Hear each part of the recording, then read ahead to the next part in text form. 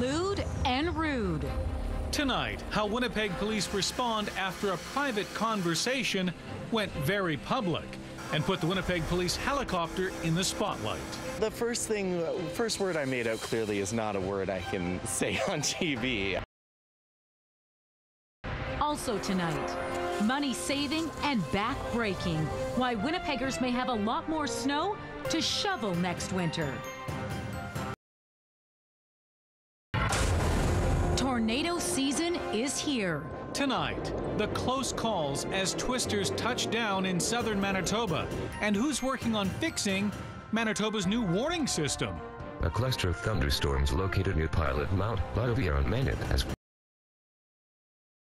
Also tonight, court chaos. The verdict for a woman accused of dangerous driving in a crash that killed a mother and daughter. I don't believe this. This is just, it's like the worst nightmare that could ever happen to our family. Not in my backyard. I'm Jeff Keele.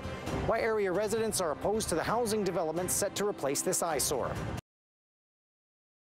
A horrific crash on the racetrack. Tonight, the shock and concern as the mother of two fights to recover. All I can do is and pray.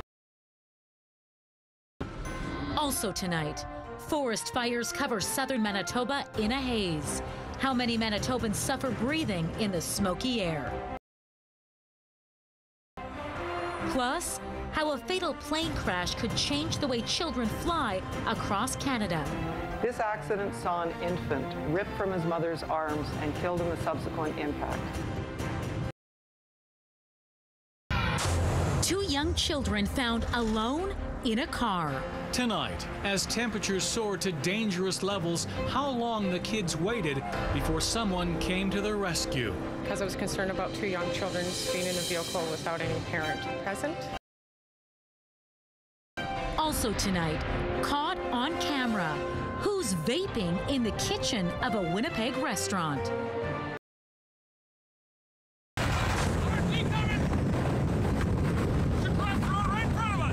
An extraordinary tornado. Tonight, the massive twister that swept across southwestern Manitoba and why it's being called a miracle. Sky got really black and, and little pieces of black clouds were all flying.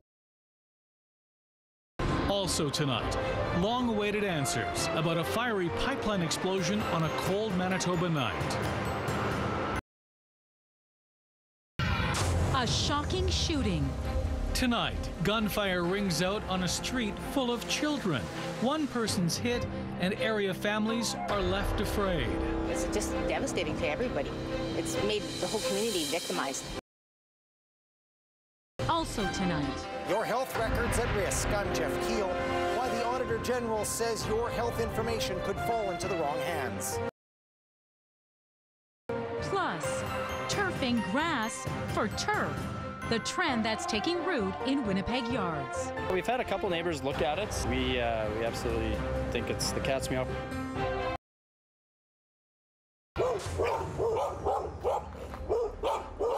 On the loose and on the attack. Tonight, why a woman bitten by a strange dog says she couldn't get help from animal services. Yeah, it was pretty terrifying, actually.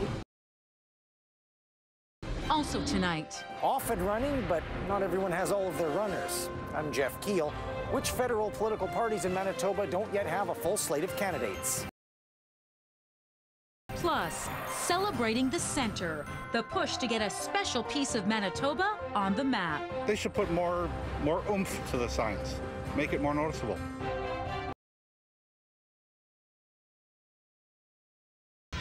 Shaking up Manitoba's liquor system. Tonight, who's promising to lower liquor prices? And could this open the door to privatization? Also tonight, A bizarre encounter for Winnipeg joggers. I'm Josh Crabb. Why a large sum of money lying on the ground along a popular running route is leading to safety concerns and what you can do to protect yourself. plus surviving a horrific car crash. How three Winnipeg children are coping as their mom fights to recover. On a scale from one to a thousand, this is how much I miss my mom. A thousand.